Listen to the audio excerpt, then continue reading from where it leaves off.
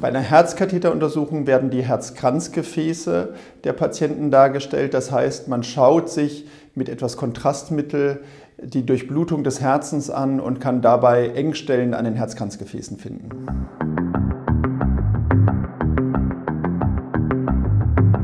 Die Untersuchung ist nicht schmerzhaft. Es wird die Einstichstelle betäubt mit einer lokalen Betäubung, das ist das Handgelenk oder die Leiste. Und dann wird von dort aus mit einem dünnen Katheter wird das Kontrastmittel in die Herzkranzgefäße gespritzt. Der Patient ist wach und kann sich mit dem Untersucher unterhalten und sogar den Befund, die Bilder mit anschauen und sehen, ob es Engstellen gibt oder nicht.